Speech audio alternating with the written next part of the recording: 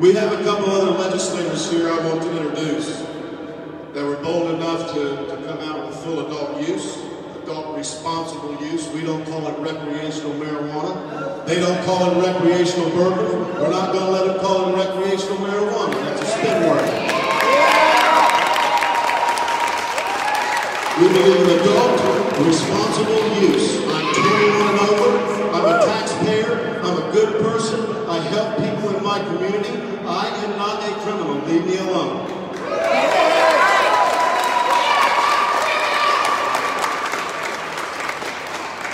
First one I want to call up, he's retired. He brought in Senate Bill 80. Uh, that was the adult responsible use. Senator Dan Seum, where you at?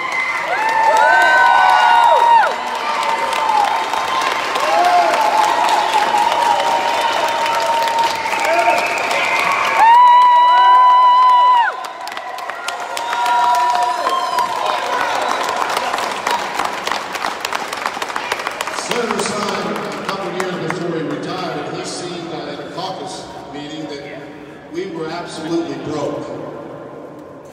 And uh, he knew it before any of us knew it when they had their meetings before the, the session started a couple years ago. And he said, I've got an idea. We need to, we need to get the cannabis money in here instead of taxing everybody. And we also need casinos instead of taxing everyone. In Colorado, 2017, they had a $2.4 billion economic impact. They created 18,000 full-time jobs, doesn't count the ancillary jobs that were created. Senator Seum knows that. He sent a team out to Colorado. I happened to be lucky enough to go out. And we brought back a good report. He said, let's file the bill. And um, it, it meant a lot to us, and uh, I'm proud of my dad. And uh, Senator, please.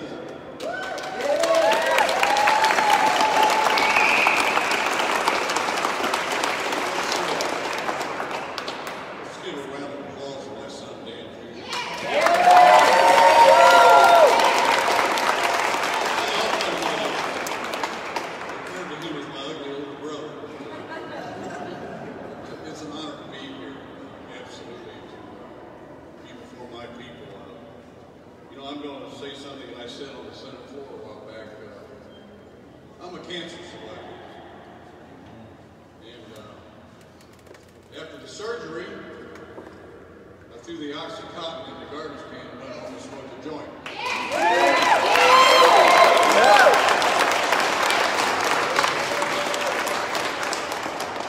now I know I'm a criminal for that. I know that. I have a granddaughter who's epileptic. By the way, we have eight children and 25 grandkids. We have one uh, child who's epileptic. And I really resent any legislator that thinks she's a criminal. I resent that hell of it. Yeah. We're going to talk about, I'm going to talk, I'm going to be blunt here. We're going to talk a little bit about politics. You have the power to vote. We, we are absolutely convinced. I think the last general election last November proved the point that this group and this organization and this issue controls 10% of the vote on a statewide basis. Period. We have a former governor. Remember that. Statewide, 10%. Now, what does 10% mean?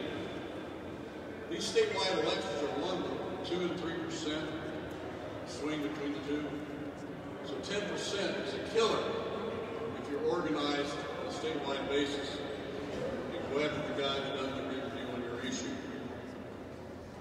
I'm going to talk about the power of the chair. You know, for those who don't know, I spent 40 years here as a legislator. In 40 years, no one ever questioned my integrity.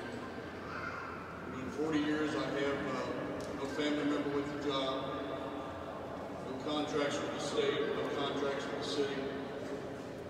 We didn't do anything but take her salary. What that means is this. That means that I could just I could have done just any damn thing I wanted to do. No governor, nobody could call me up and say, you owe me. You always want to be careful when you get in office as to who you, uh, what you take from the system. Because they will own it. Talk about Whitney Westerfield. Whitney's a good man, he's not a bad person at all. I think he's somewhat uneducated on this issue. He's the chairman of the judiciary. And right now, there are two words that are holding up this bill. Those two words are Whitney Westerfield. That's the two words. Let me explain the power of the chair to you if you don't know. Now, we feel and know that if the bill gets heard in committee, that it will pass the committee. We feel and know that we have enough votes on the Senate floor to pass it. So there's one individual right now. We got to be respectful here because he hasn't yet said no, but he hasn't heard the bill either. Okay? Here's the power of the chair. Chairman of any committee here sets the agenda for what's going to be heard in the committee hearings. And if the bill is never on the agenda, it just never gets heard. That's the power of the chair. You need to understand that. So if you're from down around Whitney, see, again, you want to be respectful. Uh, we don't say anything derogatory, or unkind about anybody.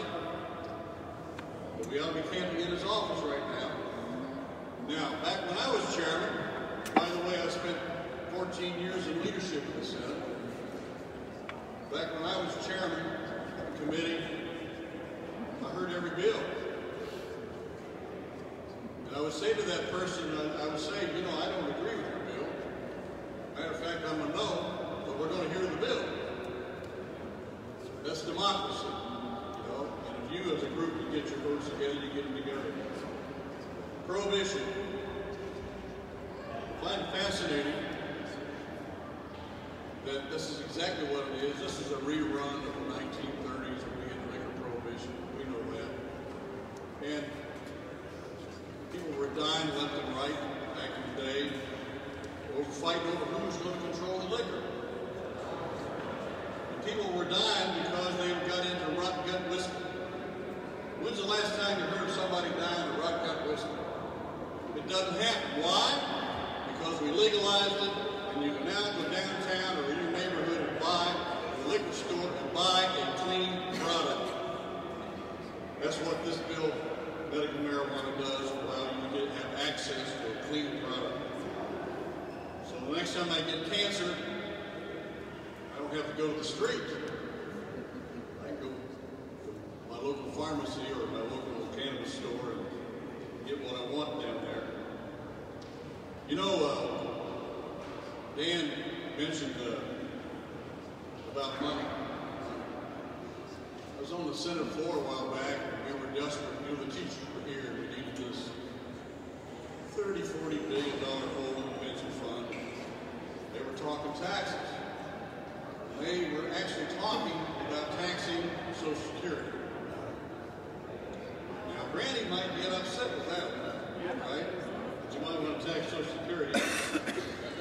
And quite, quite frankly, it was in the bill, the governor's bill, and I killed that part, took that part out. I got on the Senate floor and I said, you know, if we were to legalize cannabis, legalize casinos, legalize sports gambling, all volunteer, nobody has to do it, it generate a billion dollars of new money for the state.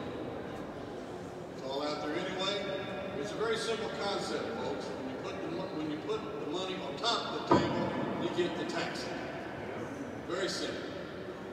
So what would have that done? A billion dollars? It meant that every two years when the budget periods come around, you had two billion dollars of new money. offset pensions. So it's more than legalizing the product. It's also helping to offset our, our budget problems.